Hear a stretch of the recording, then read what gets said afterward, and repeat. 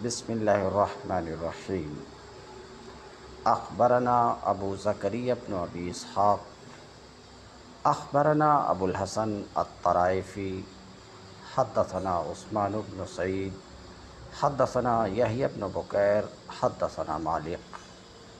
حدثنا مالك قال وحدثنا القانبي فيما قرأ على مالك عن يحيى بن سعيد أنه قال كنت أنا ومحمد بن يحيى بن حبان جالسين فدعا محمد رجلا قال أخبرني بالذي سمعت من أبيك. قال قال رجل أخبرني أنه أتى زيد بن ثابت فقال كيف ترى في قراءة القرآن في سبع؟ قال ذلك حسن ولأن أقرأه في نصف شهر أو عشرين أحب إلي. باب العلم انواریہ ایجوکیشنل سوسائٹی و جامعہ انواریہ حیدرآباد إنڈیا کے زیر اہتمام. اللہ تعالیٰ کی فضل و کرم سے الجامع لشعب الایمان للبیحقی کا درس قسط وار جاری ہے۔ آج کا درس شروع ہوتا ہے حدیث نمبر اٹھارہ سو پچاسی سے۔ امام بحقی کہتے ہیں، ہمیں خبر دی ہے ابو زکریہ بن ابو اسحاق نے اور ان کو ابو الحسن طرائفی نے، ان کو عثمان بن سعید نے، ان کو یحییٰ بن بکیر نے، ان کو مالک نے، وہ کہتے ہیں کہ ہمیں حدیث بیان کی۔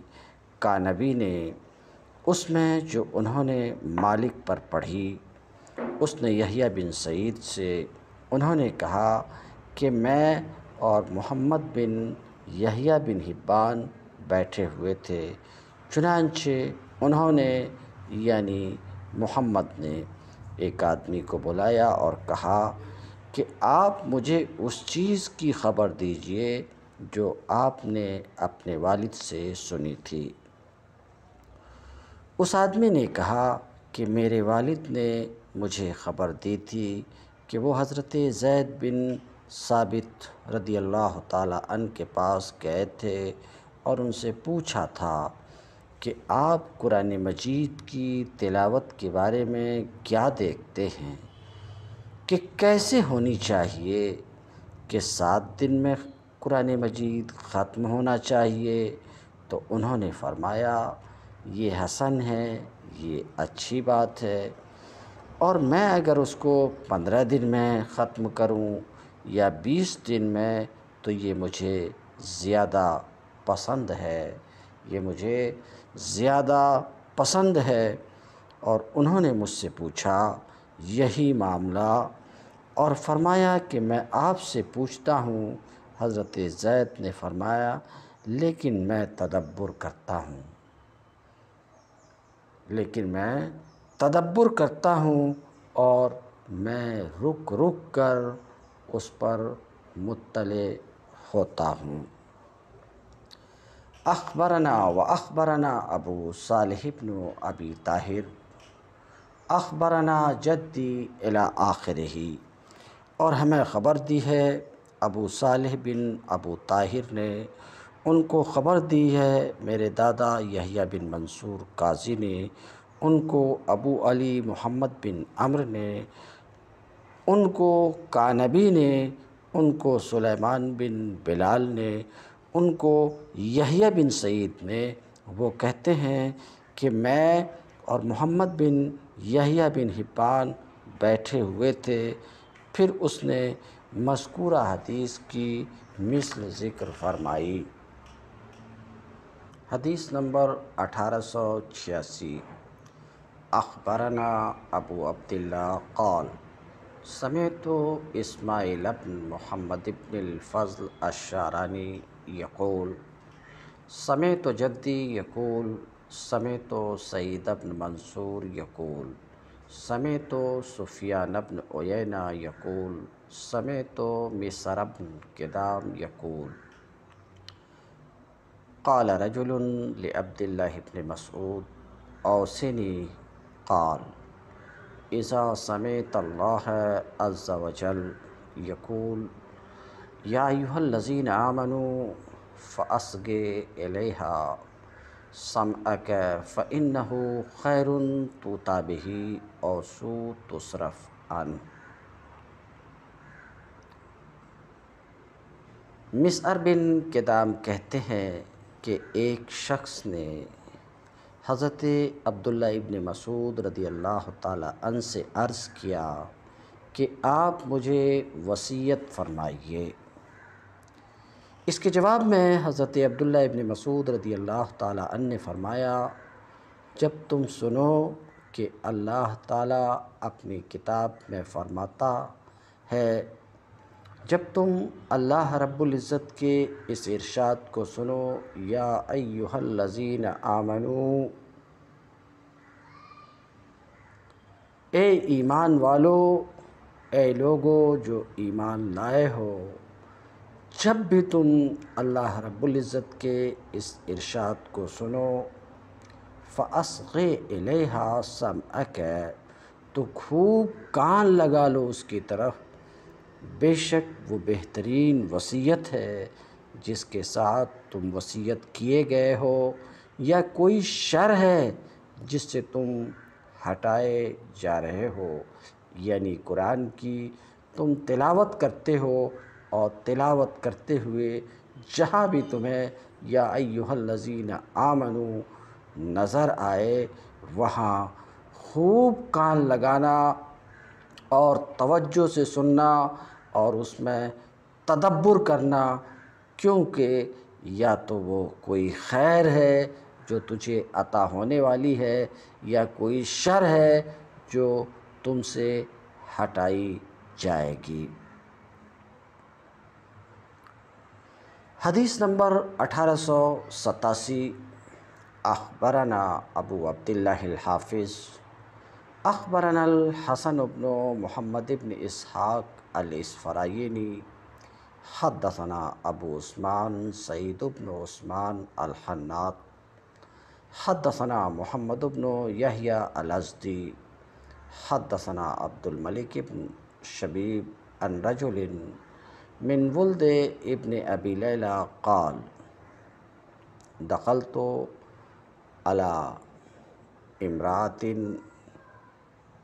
یہ عبارت یوں بھی ہو سکتی ہے، دخلت علیہ امرات و انا اقرو صورت حود فقالت لی، یا ابا عبد الرحمن حاکزہ تقرو صورت حود واللہ ان فیہا منذ ستت اشہر وما فرقت من کراتہا عبد الملک بن شبیب ابن ابی لیلہ کی اولاد میں سے ایک شخص سے روایت کرتے ہیں، وہ کہتے ہیں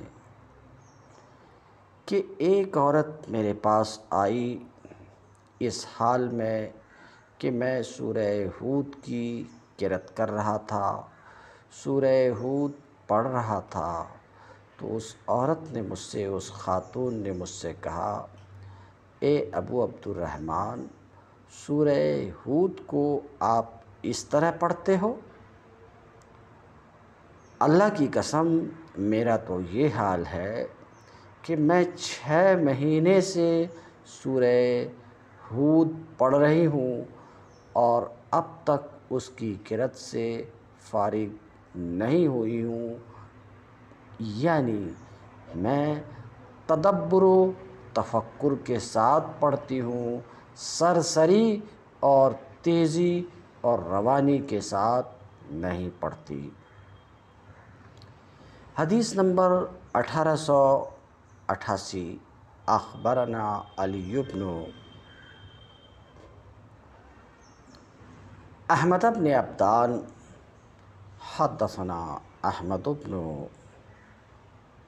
عبید الصفار اخبرنا ابن ملحان حدثنا یحیی ابن بکیر حدثنا اللیث ان یزید ابن ابی حبیب ان ابی الخیر ان ابی الخطاب ان ابی سعید القدری انہو قال، ان رسول اللہ صلی اللہ علیہ وسلم خطب الناس وهو مضيف زهره إلى نخلة فقال ألا أخبركم بخير الناس وبشر الناس.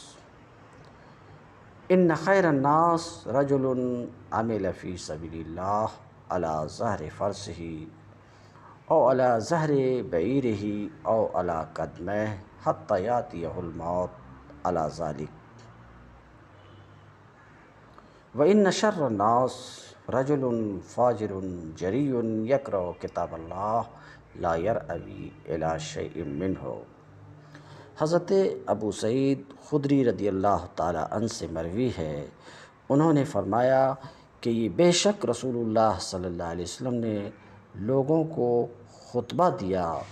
اس حال میں کہ آپ اپنی پیٹھ کا سہارا کھجور کے تنے سے لگائے ہوئے تھے، آپ صلی اللہ علیہ وسلم نے فرمایا، کیا میں تمہیں لوگوں میں سے بہترین لوگ کے بارے میں نہ بتاؤں اور بدترین لوگوں کے بارے میں بھی نہ بتاؤں؟ تو سنو بے شک سب لوگوں میں سے بہترین آدمی وہ ہے جو اللہ کی راہ میں اپنے گھوڑے کی پشت پر عمل کرتا ہے یا اپنے اونٹ کی پشت پر یا اپنے دونوں قدموں پر، یہاں تک کہ اس کے پاس موت آ جاتی ہے۔ حالانکہ وہ اسی حال میں ہوتا ہے اور سب لوگوں میں سے برا انسان وہ آدمی ہوتا ہے جو گنہگار ہوتا ہے اور جرأت و جسارت کرتا ہے، کتاب اللہ کو پڑھتا ہے، مگر اس کے اندر جو کچھ ہے، اس کی کسی شے کی رعایت نہیں کرتا یعنی عالم بے عمل ہے۔ اور اس کی پرواہ نہیں کرتا کہ قرآن مجید اس سے کیا کہہ رہا ہے؟ ایسا انسان تمام انسان میں بدتر ہے۔ فصل فی البقا ان دا قراءت القرآن۔ یہ فصل اس بات کے بیان میں ہے کہ قرآن کی قرت کے وقت، قرآن کی تلاوت کے وقت، قرآن کے پڑھنے کے وقت رونا چاہیے۔ امام بحقی کہتے ہیں، قد روینا فی کتاب الخوف، فی حاصل کتاب حدیث مترف ابن عبداللہ ابی قال رائت رسول اللہ صلی اللہ علیہ وسلم یصلی وفی صدر ہی عزیز کا عزیز رہا من البقا امام بحقی کہتے ہیں ہم نے اس کو اس کتاب میں، کتاب الخوف میں روایت کیا ہے۔ قد روینا فی کتاب الخوف، فی حاضر کتاب یعنی اس کتاب الجامع لشعب الایمان کے کتاب الخوف میں ہم مطرف بن عبداللہ کی حدیث روایت کر آئے ہیں، جو اپنے والد عبداللہ سے راوی ہیں انہوں نے کہا، رائے تو رسول اللہ صلی اللہ علیہ وسلم۔ میں نے رسول اللہ صلی اللہ علیہ وسلم کو دیکھا، آپ صلی اللہ علیہ وسلم نماز پڑھ رہے تھے اور آپ کے سینے مبارک میں رونے کی وجہ سے آواز پیدا ہو رہی تھی، ایسے، ایسی جیسی چکی چلنے کی آواز ہوتی ہے۔ تو جب اللہ کے رسول صلی اللہ علیہ وسلم قرآن پڑھتے وقت خوف خدا سے روتے تھے، تو ہم گنہگاروں کے لیے بدرج اولا قرآن کی کرت کے وقت خوف خدا سے رونا چاہیے۔ اگر قرات قرآن کے وقت ہم ہمارے آنکھوں سے آنسو روا ہو۔ تو یقین مانیے، یہ آنسو دنیا و مافیہ سے برتر و بالا ہے۔ مگر ظاہر ہے، ہماری آنکھوں سے آنسو قرآن کی تلاوت کے وقت بھلا کیسے روا ہو سکتے ہیں؟ جبکہ ہمارا حال یہ ہے کہ ہم قرآن کے صرف اوپر اوپر کو دیکھتے ہیں، اوپر اوپر کو پڑھتے ہیں۔ اندر ہماری نظر ہی نہیں پہنچتی، ہمارا دل ہی نہیں وہاں تک پہنچتا۔ تو جب جب اس کی باطن، اس کی حقیقت تک ہماری رسائی ہی نہیں ہوتی، تو دل میں تحریک اور ہلچل بھلا کیسے پیدا ہوگی؟ اور جب تک دل میں ہلچل پیدا نہیں ہوگی، آنکھوں سے آنسو بھلا کیسے آ سکتے؟ اس کے لیے، اس کے لیے ضروری ہے کہ ہم قرآن کو سمجھ کر پڑھیں۔ اور کھلی ہوئی بات ہے، جب کوئی شخص کسی دوسرے کے سامنے ہوتا ہے اور اس کی بات کو سمجھتا ہے، تو اس کے دل میں کچھ اثر ہوتا ہے۔ لیکن اگر سمجھ ہی نہیں رہا، تو اثر کیسے ہو سکتا ہے؟ تو آنکھوں سے اشک روا ہونے کے لیے ضروری ہے کہ اللہ رب العزت کیا کچھ فرما رہا ہے۔ اسے آدمی سمجھے، اسے آدمی سمجھے تو قرآن فہمی کے بغیر آنکھوں سے اشک کا روا ہونا ممکن نہیں ہے۔ تو آنکھوں سے آنسو ٹپکنے کے لیے انتہائی اہم ہے کہ ہم قرآن کو سمجھیں سمجھ کر پڑھیں اور قرآن کیا کچھ کہہ رہا ہے، اس کی گہرائی میں اتریں اور اللہ سے ڈرتے رہیں اللہ سے ڈر کر قرآن کی جب ہم تلاوت کریں گے، سمجھ کر تلاوت کریں گے، تو ہماری آنکھوں سے اشک بھی روا ہوں گے، آنسو بھی بہیں گے۔ اور یہ آنسو اگر تلاوت کے وقت خوف خدا کی وجہ سے ہمارے آنکھوں سے ٹپکے۔ تو یقین مانیے، یہ جنت کی بہترین سرٹیفکیٹ ہے، بہترین سرٹیفکیٹ ہے۔ اس لیے یہ سرٹیفکیٹ حاصل کرنے کے لیے قرآن کا سمجھنا ضروری ہے۔ اللہ تعالیٰ ہر مسلمان کو توفیق دے کہ وہ قرآن سمجھ کر پڑھے۔ حدیث نمبر اٹھارہ سو نواسی۔ اخبرنا أبو نصر بن قتادة أخبرنا أبو الحسن بن إسماعيل حدثنا حدثنا الحسن بن المصنى البصري حدثنا عفان حدثنا حماد بن سلمى عن ثابت عن مطرف عن أبيه قال أتيت النبي صلى الله عليه وسلم وهو يصلي ولصدره عزيز كعزيز المرجل. اس حدیث کا معنی اور مفہوم وہی ہے جو پچھلی حدیث میں آپ سماعت فرما چکے۔ حدیث نمبر اٹھارہ سو نوے۔ اخبرنا ابو عبداللہ الحافظ، حدثنا ابو عبداللہ،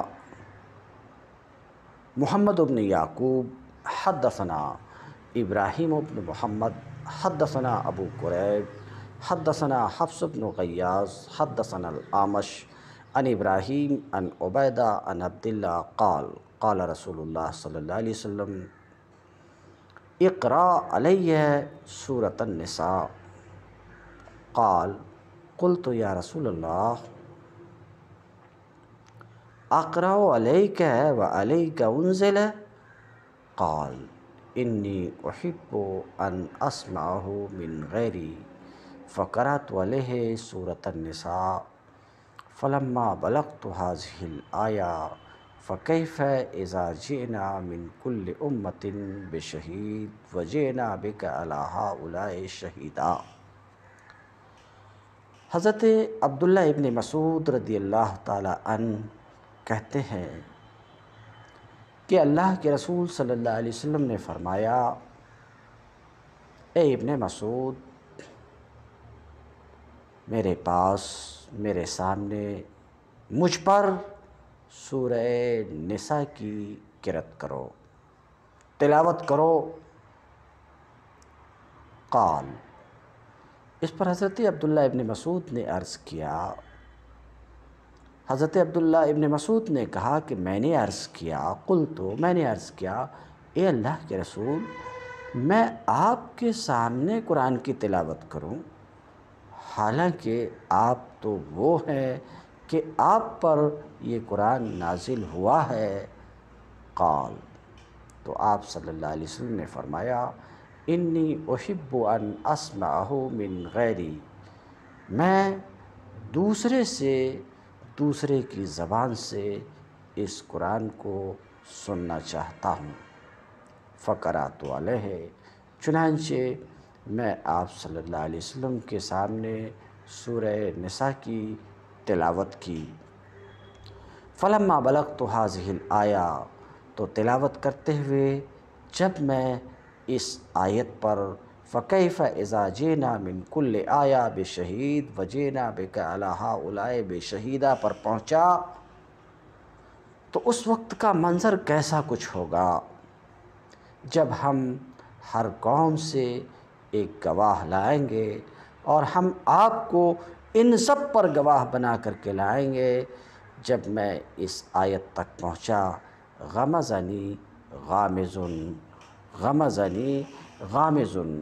تو اس وقت اتنے میں مجھے ہاتھ سے کسی دبانے والے نے دبایا۔ میں نے اپنا سر اٹھایا فرفات راسی میں نے اپنا سر اٹھایا تو دیکھا کہ آپ صلی اللہ علیہ وسلم کی آنکھوں سے آنسو بہ رہے ہیں۔ یہ آنسو امتنان کا آنسو بھی ہو سکتا ہے۔ یہ آنسو خوف خدا کی وجہ سے بھی یہ آنسو ہو سکتا۔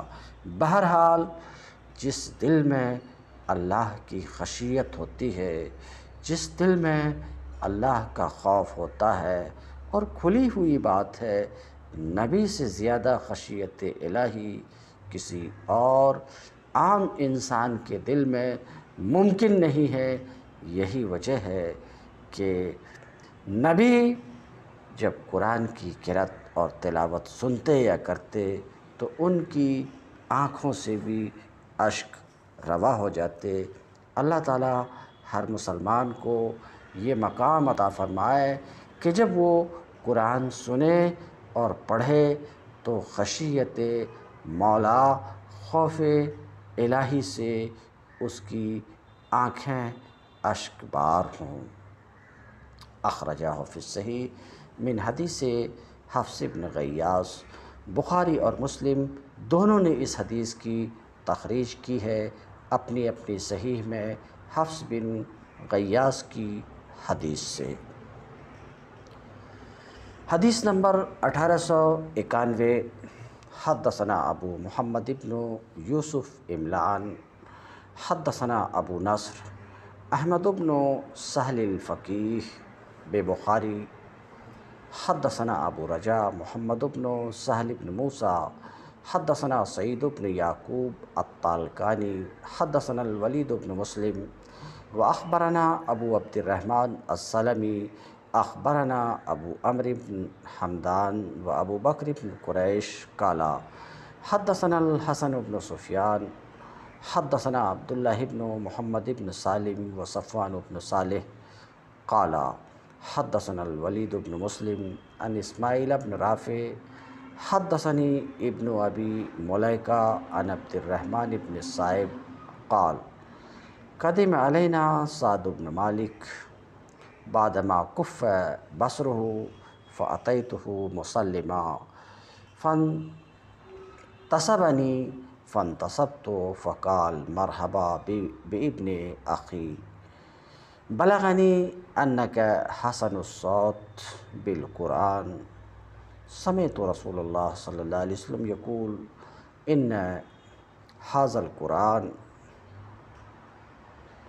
نزل بحزن وكآبة فإذا قرأتموه فابكوا فإن لم تبكوا فتباكوا و تغن و بہی فملم یا تغن بہی فلیس منا۔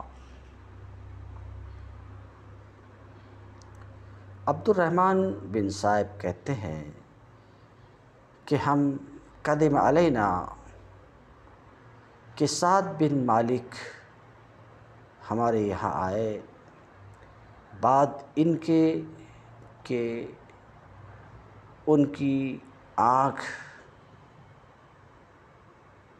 بند ہو گئی تھی فعطی تو مسلمہ تو میں نے ان کو سلام کیا۔ میں نے ان کو سلام کیا۔ تو انہوں نے مجھ سے نسبت دریافت کی۔ تو میں نے نسبت بیان کی فقال اس کے جواب میں انہوں نے فرمایا، خوش آمدید، اے بھتیجے بلغانی مجھے خبر پہنچی ہے کہ آپ قرآن اچھی آواز میں پڑھتے ہیں اور میں رسول اللہ صلی اللہ علیہ وسلم سے فرماتے ہوئے سنا تھا۔ آپ فرما رہے تھے کہ یہ قرآن مجید نازل ہوا ہے درد کے ساتھ اور غم کے ساتھ۔ جب تم اس کو پڑھو فضا کرا کرا تم ہو فف کو جب تم اس کو پڑھو تو رو رو کر پڑھو اور تم رو نہ سکو تو رونے کی شکل بناؤ۔ فعلم تب کو فتبا کو اگر رو نہ سکو تو روانی صورت بناؤ۔ و تغنو بہی اور راگ وہ سور کے ساتھ اس کو پڑھو جو شخص قرآن کو خوبصورت آواز کے ساتھ نہیں پڑھتا، وہ ہم میں سے نہیں ہے۔ یہ حدیث یہ حدیث ابن یوسف کے الفاظ میں ہے۔ حدیث نمبر اٹھارہ سو بیانوے۔ اخبرنا علی بن احمد بن عبدان۔ اخبرنا ابو بکر بن مهما بقى العسكري حدثنا جعفر جعفر بن محمد الكلانسي. حدثنا مصدد حدثنا يهيا عن سفيان عن الأعمش. عن إبراهيم عن عبيدة عن عبد الله قال الأعمش. وبعض الحديث حدثني عمرو بن مرة عن إبراهيم عن أبيه. یعنی ابا سفیان، عن ابی دہا، عن عبداللہ، قال قال علی رسول اللہ صلی اللہ علیہ وسلم اقرا علیہ فقلت اقرا علیک و انزل قال، انی اشتہی ان اسمع من غیری قال، فقرأت النساء حتی بلغت، فکیف اذا جینا من کل امت بشہید و جینا بکا علی ہؤلاء شہیدا اس حدیث میں جو مضمون ہے اور متن ہے، ابھی تھوڑی دیر پہلے یہ مضمون اور متن گزر چکا ہے۔ تاہم ترجمہ کیے دیتا ہوں۔ حضرت عبداللہ ابن مسعود رضی اللہ تعالیٰ عنہ فرماتے ہیں کہ اللہ کے رسول صلی اللہ علیہ وسلم نے فرمایا اقرا علیہ۔ میرے سامنے قرآن کی کرت کرو۔ قرآن کی تلاوت کرو۔ میں نے عرض کیا، آپ پر میں تلاوت کروں؟ حالانکہ آپ پر تو یہ قرآن اترا ہے۔ اللہ کے رسول صلی اللہ علیہ وسلم نے فرمایا کہ میں دوسرے سے دوسرے کی زبان سے اس قرآن کو سننا چاہتا ہوں۔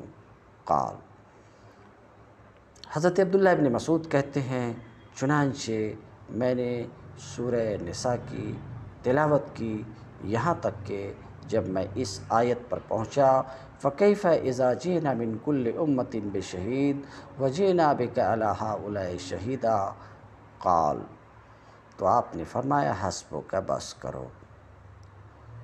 حضرت عبداللہ ابن مسعود کہتے ہیں فرائے تو اینے ہے تذرفان، اس وقت میں نے دیکھا کہ آپ کی آنکھیں بہ رہی تھیں۔ یعنی آپ کی آنکھوں سے آنسو جاری تھے۔ رواہ البخاری فی صحیح ان مسدد وسعد ابن الفضل ان یحییٰ اس کو بخاری نے صحیح میں روایت کیا ہے۔ مسدد سے اور صدقہ بن فضل سے۔ انہوں نے یحییٰ سے۔ حدیث نمبر اٹھارہ سو تیانوے اخبرنا ابو محمد ابن یوسف۔ اخبرنا ابو سعید ابن العرابی۔ حدثنا الحسن ابن محمد الزعفرانی۔ حدثنا سعید۔ حدثنا حشیم۔ عن عبد الرحمن ابن اسحاق۔ قال عبد الملك بن عمير أن رسول الله صلى الله عليه وسلم قال إني قارئ عليكم سورة فمن بقى فله الجنة فقرأ فلم يفعل ذلك أحد منهم فقال أيضا فلم يفعل ذلك أحد منهم. قال النبي صلى الله عليه وسلم انی قارئ علیکم سورة فمن بقا فلہ الجنہ فإن لم تبقوا فتباقوا عبد الملک بن عمیر سے مروی ہے۔ وہ کہتے ہیں، رسول اللہ صلی اللہ علیہ وسلم نے فرمایا، میں تمہارے سامنے ایک سورہ پڑھنے والا ہوں۔ تو جو شخص اسے سن کر رو پڑے گا، اس کے لیے جنت ہوگی۔ چنانچہ آپ صلی اللہ علیہ وسلم نے اس سورہ کی تلاوت کی، مگر ان میں سے کوئی ایک بھی رو نہ سکا۔ پھر دوبارہ آپ نے یہی کیا، پھر بھی کوئی رو نہ سکا۔ پھر نبی کریم صلی اللہ علیہ وسلم نے فرمایا میں تمہارے سامنے ایک ایسی سورہ پڑھنے والا ہوں جو شخص اس کو سن کر رو پڑے گا، اس کے لیے جنت ہے۔ اور اگر تم کو رونا نہ آئے تو رونے کی شکل بناؤ۔ فعلم تب کو یہ حدیث مرسل ہے۔ حدیث نمبر اٹھارہ سو چورانوے۔ اخبرنا ابو طاہرین احمد ابن عبداللہ بن مہرو الفارسی المقیم بمیرو قدم علینا نیساپور اخبرنا ابو العباس محمد ابن احمد ابن سلمہ القرشی المروزی اخبرنا ابو بکرین احمد ابن محمد ابن عمر ابن مصعب ابن بشر الفقیح حدثنا الحسن ابن الحسن ابن مہاجر السلمی النسابوری۔ حدثنا ابراہیم ابن محمد ابن یوسف الکہستانی۔ حدثنا سلام ابن واقد۔ حدثنا ابو حمزہ السکری۔ حدثنا ابو اسحاق الحمدانی۔ عن جرير بن عبد الله البجلي قال قال رسول الله صلى الله عليه وسلم إني كاره عليكم سورة ألحاكم فمن بقى فله الجنة. فقرأ فبقى بعضنا ولم يبكي الباقون. قال الذين لم يبكوا لقد جهدنا يا رسول الله أن نبكي فلم نقدر. فقال انی قارئها عليكم الثانية فمن بقى فله الجنة، ومن لم يقدر ان يبكي فليتباكى. حضرت جریر بن عبداللہ بجلی رضی اللہ تعالی عنہ فرماتے ہیں کہ اللہ کے رسول صلی اللہ علیہ وسلم نے فرمایا کہ میں تمہارے سامنے سورہ الحاکم الحاکم التکاثروں کی کرت کرتا ہوں، تلاوت کرتا ہوں۔ تو سنو، جو شخص اسے سن کر روئے گا، اس کے لیے جنت ہے۔ چنانچہ آپ صلی اللہ علیہ وسلم نے کرت شروع کی، تو ہم میں سے کچھ لوگ رو پڑے اور کچھ لوگ رو نہ سکے۔ کال الزین لم یبکو۔ وہ لوگ جن کو رونا نہیں آیا، انہوں نے کہا، یا رسول اللہ، ہم کوشش تو کیے رونے کی، لیکن رو نہ سکے۔ فقال، تو آپ صلی اللہ علیہ وسلم نے فرمایا، بار دیگر میں تمہارے سامنے اس کی کرت کرتا ہوں، تو جو روئے گا اس کے لیے جنت ہے۔ ومن لم یقدر، اور جو رو نہ سکے، وہ روحانی صورت بنائے، حاضہ اسناد ضعیف، یہ سند ضعیف ہے۔ امام بیحقی کہتے ہیں روینہ فی الحدیث ثابت ان عائشہ فی قصت ابی بکر الصدیق رضی اللہ عنہ، انہو ابتنا مسجدن بے فنائے دارہی وکان یصلی فیہ ویکرع القرآن فتقف علیہ نساء المشرکین و ابناؤہم۔ یتعجبون من وینظرون الیہ وکان ابو بکر رجلا بکان لا یملک دمعہ ہین یکرع القرآن۔ امام بحقی کہتے ہیں، اور ہم اس حدیث میں جو حضرت عائشہ صدیقہ رضی اللہ عنہ سے ثابت ہے، حضرت ابو بکر صدیق رضی اللہ تعالی عنہ کے قصے میں کہ حضرت ابو بکر نے اپنے گھر کے صحن میں ایک مسجد بنا رکھی تھی۔ وکانہ یوسلی فی اور حضرت ابو بکر اسی مسجد میں نماز پڑھا کرتے تھے اور قرآن کی قرت کرتے تھے، تلاوت کرتے تھے اور قرآن پڑھتے تھے۔ فتح کے علیہ نساء المشرقین تو وہاں آ کر مشرقین کی عورتیں اور ان کے بیٹے کھڑے ہو جاتے تھے اور حضرت ابو بکر کی نماز اور تلاوت کو دیکھ کر تعجب کرتے تھے۔ وکان ابو بکر رجلا، حضرت عائشہ کہتی ہیں، ابو بکر بہت رونے والے انسان تھے۔ وہ اپنے آنسو پر قابو نہیں پاتے تھے، جس وقت قرآن کی قرت کرتے تھے، جب قرآن پڑھتے تھے۔ وہ بے اسناد ہی فی الجز الثانی من کتاب الفضائل مذکور۔ امام بحقی کہتے ہیں، یہ حدیث اپنی اسناد کے ساتھ کتاب الفضائل کے دوسرے جز میں مذکور ہے۔ وروینا فی فضائل عمر بن الخطاب رضی اللہ عنہ عن الحسن قال، کان عمر بن الخطاب یمر بالآیہ فی فتح وردہی فتحنکہ فیبکی حتی یسکت ویلزم بیتہ اليوم والیومین حتی یعاد یحسبونہ مریضا۔ اور ہم نے حضرت عمر بن خطاب رضی اللہ تعالی عنہ کے فضائل میں حسن سے روایت کی ہے۔ انہوں نے فرمایا کہ حضرت عمر بن خطاب رضی اللہ تعالی عنہ کسی آیت کے ورد میں گزرتے تھے، وہ آیت ان کو ایسا ڈرا دیتی کہ آپ رو پڑتے، اس قدر اثر لے لیتے کہ اپنے گھر میں ایک ایک دن، دو دو دن پڑ جاتے۔ یہاں تک کہ لوگ انہیں بیمار سمجھ کر ان کی مزاج پرسی کرنے آ جاتے تھے۔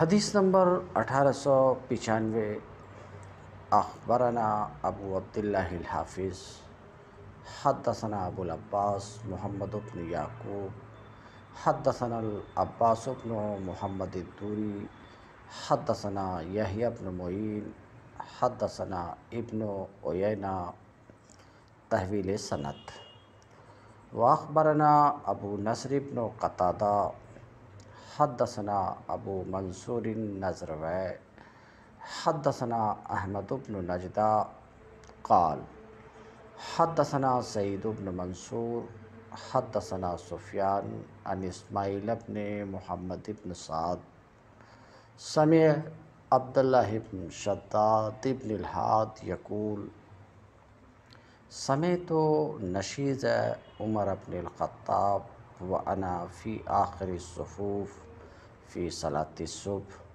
یکرو فی صورت یوسف، قال انما اشکو بثی و حزنی اللہ لفظ و حدیث سعید و رواہ یحییٰ مختصرا. عبداللہ بن شداد بن حاد فرماتے ہیں کہ حضرت عمر بن حضرت عمر بن خطاب رضی اللہ تعالی ان کی ہچکیوں کی آواز میں نے سنی جبکہ میں صفوں کے آخر میں تھا۔ صبح کی نماز کے اندر میں آپ سورہ یوسف کی تلاوت فرما رہے تھے اور کہہ رہے تھے ان نما اشکو بسی و حزنی اللہ میں اپنے حزن و غم کی شکایت اللہ کی بارگاہ میں کرتا ہوں۔ اس پر اس قدر آپ رو رہے تھے کہ ہچکی کی آواز پچھلی صف میں بھی سنائی دے رہی تھی۔ لفظ و حدیث سعید، یہ الفاظ حدیث سعید کے ہیں اور اس کو یحییٰ نے مختصر بیان کیا ہے۔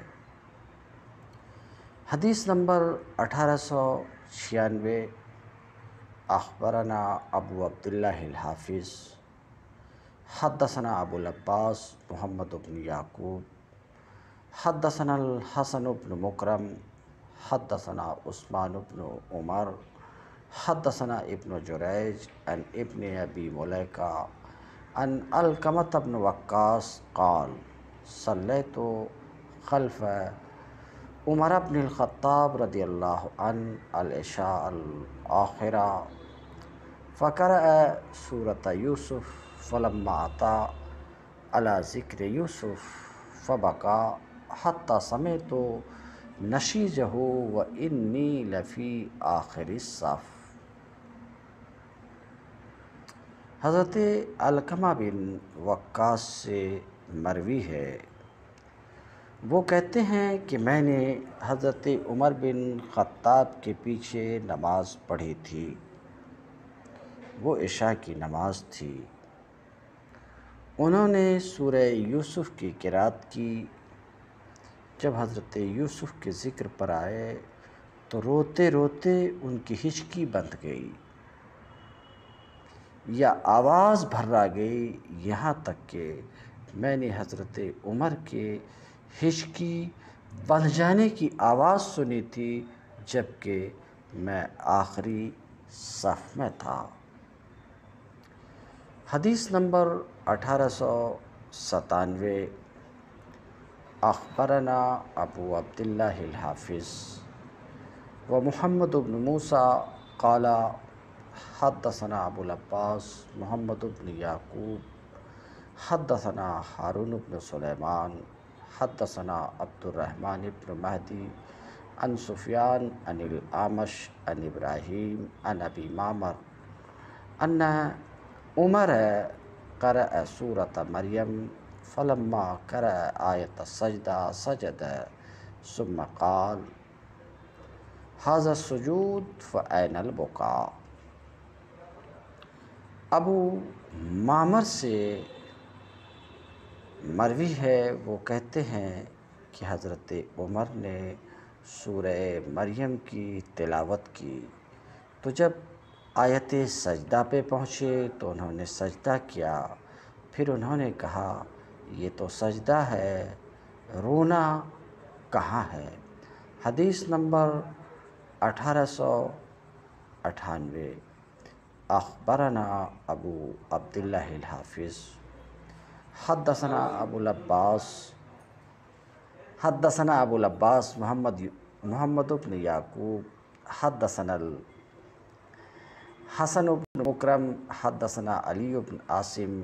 حدثنا عاصم بن قلیب۔ ان ابی بردہ قال کان ابو موسیٰ اذا قرأ یا ایوہ الانسان ما غرک بربک الکریم قال یعنی الجہل وَإِذَا قَرَأَ، أَفَتَتَّخِذُونَهُ وَذُرِّيَّتَهُ أَوْلِيَاءَ مِن دُونِي؟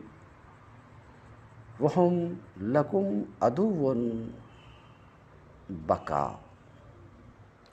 ابو بردہ کہتے ہیں کہ حضرت ابو موسیٰ اشعری رضی اللہ تعالی عنہ جب یہ آیت پڑھتے، یا ایوہ الانسان ما غرک بربک الکریم، اے انسان، تجھے تجھے تیرے رب کریم کے بارے میں کس نے دھوکے میں ڈالا ہے؟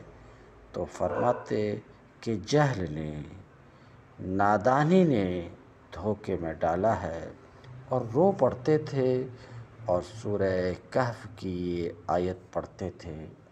افتتخذونہ وذریتہ اولیاء من دونی وہم لکم عدوون۔ کیا تم لوگ شیطان کو اور ان کی اولاد کو اپنا دوست بناتے ہو؟ مجھے نہیں بناتے ہو، حالانکہ وہ تو تمہارا دشمن ہے۔ یہ پڑھ کر رو پڑھتے تھے۔ حدیث نمبر اٹھارہ سو ننانوے، اخبرنا ابو الحسین ابن الفضل، حدثنا عبداللہ ابن جعفر، حدثنا یعقوب ابن سفیان، حدثنا ابو نعیم، حدثنا صالح بن رستم ان ابن ابی ملیکہ قال صحبت ابن عباس من مکہ الى المدینہ ومن المدینہ الى مکہ وکان یصلی رکعتین فإذا نزل قام قام شطر اللیل ویرتل القرآن ویقرأ حرفا حرفا ويكسر في ذلك من النشيز والنهيب ويكره وجاءت سكرة سكرة الموت بالحق ذلك ما كنت منه تهيد. ابن ابو ملیکہ سے مروی ہے۔ وہ کہتے ہیں، میں ابن عباس رضی اللہ تعالی عنہ کے ساتھ مکہ سے مدینہ تک اور مدینہ سے مکہ تک ان کے ساتھ رہا۔ آپ دوران سفر دو رکعت، دو دو رکعت پڑھتے تھے۔ جب کہیں پڑاؤ کرتے تو آدھی رات قیام کرتے اور ترتیل کے ساتھ قرآن مجید کو حرف حرف کر کے واضح پڑھتے اور کثرت کے ساتھ روتے۔ ہچکیاں بن جاتی اور زور زور سے روتے تھے اور یہ آیت پڑھتے تھے۔ وجاءت سکرت الموت بالحق، ذالک ما کنت منہ تہید۔ آ گئی بے ہوشی موت کی سچی، یہ وہی ہے کہ تو جس سے گریز کرتا تھا۔ حدیث نمبر انیس سو۔ اخبرنا ابو نصر بن قطادہ۔ حدثنا ابو منصور النظروی حدثنا احمد بن نجدہ۔ حدثنا سعید بن منصور۔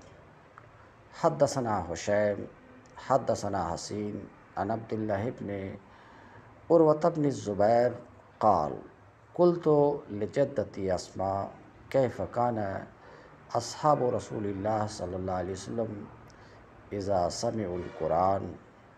قالت، تدمع آئینہم وتقشعر جلودہم کما نعتہم اللہ قال قلت فإن ناسا ہاہنا اذا سمع احدہم القرآن خر مغشین علیہ قالت اعوذ باللہ من الشیطان الرجیم. حضرت عبداللہ بن عروہ بن زبیر سے مروی ہے۔ وہ کہتے ہیں کہ میں نے اپنی جدہ اسما سے عرض کی، اپنی نانی اسما سے عرض کی، کیف کان اصحاب رسول اللہ اذا سمع القرآن؟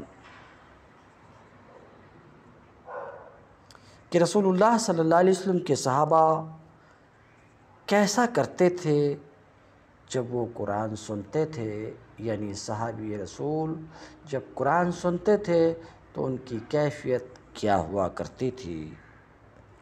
وہ بولیں، حضرت اسما رضی اللہ عنہا انہا بولی ان کی آنکھوں سے آنسو بہتے تھے۔ تدمو آئینہم ان کی آنکھوں سے آنسو بہتے تھے اور ان کے رونگٹے کھڑے ہو جاتے تھے۔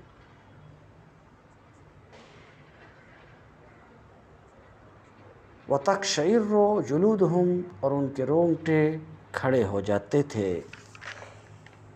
جیسے اللہ تعالیٰ نے ان کی صفت بیان فرمائی ہے، وہ کہتے ہیں، عبداللہ بن عروہ بن زبیر کہتے ہیں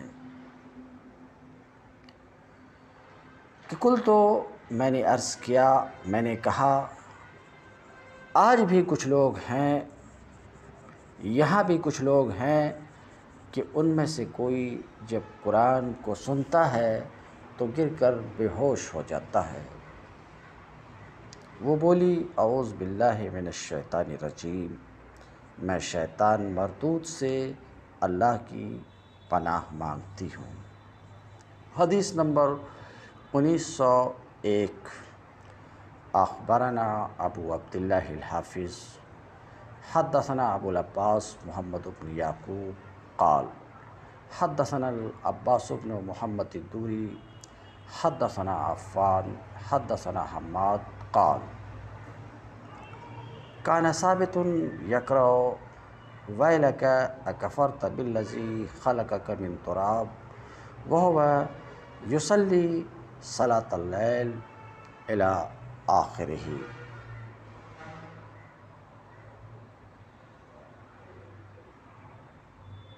حماد کہتے ہیں کہ ثابت، کہ حضرت ثابت یہ آیت پڑھا کرتے تھے اغفر تک باللزی خلق کا من تراب۔ کیا تم نے کفر کر لیا ہے اس ذات کے ساتھ جس نے تجھے مٹی سے پیدا کیا ہے؟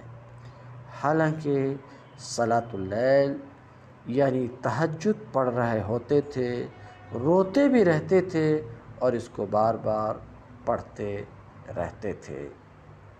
حدیث نمبر انیس سو دو۔ اخبرنا ابو عبداللہ الحافظ۔ حدثنا احمد ابن محمد ابن العباس الخطیب بیبرو حدثنا محمود ابن والان۔ حدثنا محمد ابن جابر۔ قال سمیت بشر بن الحکم النسابوری یقول کانت امرات الفضیل تقول لا تقرؤ عند ابن ابن القرآن. قال بشر وكان إذا قرئ عنده القرآن غشي عليه. قال بشر وكان ابن الفضيل لا يقدر على قراءة القرآن، فقال لأبيه يا أبت ادعو الله لعلی استطیع ان اختم القرآن مرتا واحدہ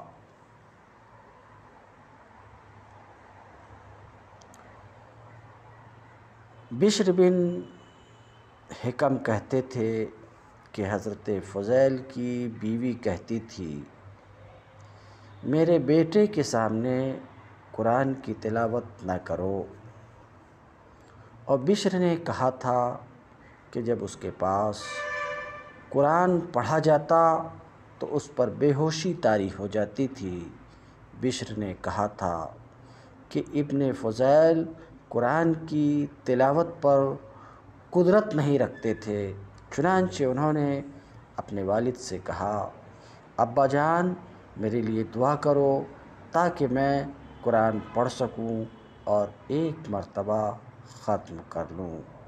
یعنی ختم کرنا تو دور کی بات ہے، شروع کرتے ہی، شروع کرتے ہی بے ہوش ہو جاتا تھا، شروع کرتے ہی بے ہوش ہو جاتا تھا۔ روایت نمبر انیس سو تین۔ اخبرنا احمد ابن ابی خلف الصوفی حدثنا ابو سعید محمد ابن ابراہیم الوائز قال، سمیت ابا بکر ابن رجا یقول، سمیت اسحاق ابن ابراہیم الحنزلی یقول، کان المعتمر ابن سلیمان لی مکرما فیومن دخلت علیہ، فلم یرفع الی راسہ فلما فرغ قال لی یا ابا یعقوب، لم ارک والقاری یقرأ القرآن۔ والقاری یقرأ القرآن۔ ہمیں خبر دی ہے احمد بن ابو خلف صوفی نے ان کو ابو سعید محمد بن ابراہیم وائس نے، انہوں نے سنا ابو بکر بن رضا رجا سے، انہوں نے سنا اسحاق بن ابراہیم حنزلی سے، وہ کہتے ہیں کہ معتمر بن سلیمان، وہ کہتے ہیں کہ معتمر بن سلیمان روتے رہتے تھے، میں ان کے پاس داخل ہوا تو انہوں نے میری طرف سر اٹھا کر بھی نہ دیکھا۔ اپنے معمول سے فارغ ہوئے تو انہوں نے مجھ سے کہا، اے ابو یعقوب، میں کیسے دیکھتا؟ حالانکہ قاری قرآن پڑھ رہا ہو اور تلاوت کے آغاز میں اللہ سے پناہ مانگ چکا ہو۔ تلاوت کے آغاز میں اللہ سے پناہ مانگ چکا ہو۔ فعضا کرات القرآن الا آخر ہی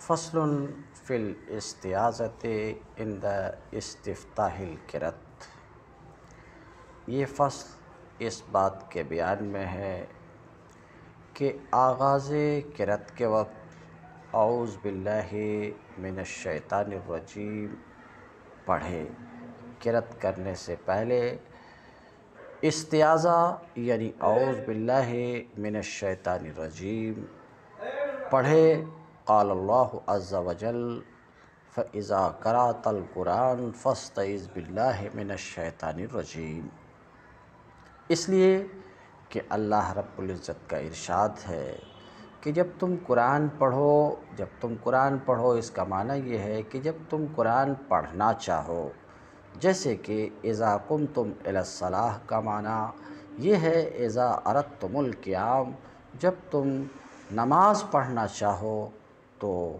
فغسلو وجوہکم الآیہ۔ اللہ رب العزت کا ارشاد ہے فضا کرات القرآن، جب تم قرآن پڑھو یعنی قرآن پڑھنا شروع کرو پڑھنا چاہو تو اللہ کی پناہ طلب کرو، مردود شیطان سے۔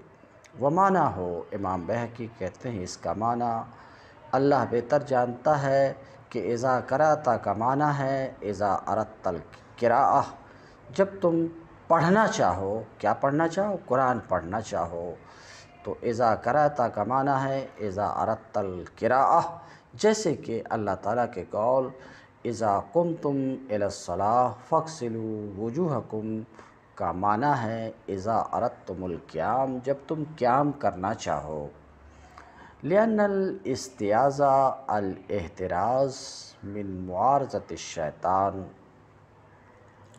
اس لیے کہ استعاذہ در حقیقت احتراز ہے اور بچنا ہے شیطان کے مقابلے میں قرآن پڑھنے والے کے ساتھ اس کی کرت کے دوران، لہٰذا اس اعتبار سے استیازہ کے ساتھ کرت سے پہلے استیازہ کرت سے پہلے ہونا اولا ہے اور زیادہ جامع ہے۔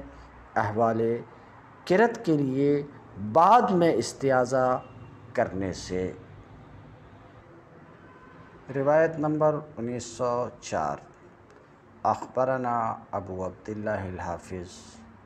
انبعنا ابو عبداللہ الشیبانی۔ حدثنا ابراہیم ابن عبداللہ الصادی۔ حدثنا احمد ابن احمد۔ حدثنا ورقا عن عطا ابن صائب۔ عن ابی عبد الرحمن عن عبداللہ۔ قال کان رسول اللہ صلی اللہ علیہ وسلم يعلمنا ان نقول اللہم انی اعوذ بک من الشیطان الرجیم من حمزه ونفقه ونفسه. قال عطا فحمزه الموتة ونفثه الشیر ونفقه الکبر حضرت عبداللہ ابن مسعود رضی اللہ تعالی عنہ سے مروی ہے۔ وہ فرماتے ہیں کہ رسول اللہ صلی اللہ علیہ وسلم ہمیں سکھاتے تھے کہ ہم یوں دعا کریں، اے اللہ، میں تیری پناہ مانگتا ہوں، مردود شیطان سے میں تیری پناہ مانگتا ہوں، مردود شیطان سے شیطان کے گھوسے سے اور اس کے پھونکنے سے اور اس کے تھتکارنے سے۔ حضرت عطا فرماتے ہیں کہ شیطان کے گھوسے سے مراد موت، اس کا تھتکارنا، شیر اور اس کا پھونک مارنا تکبر اور بڑائی ہے۔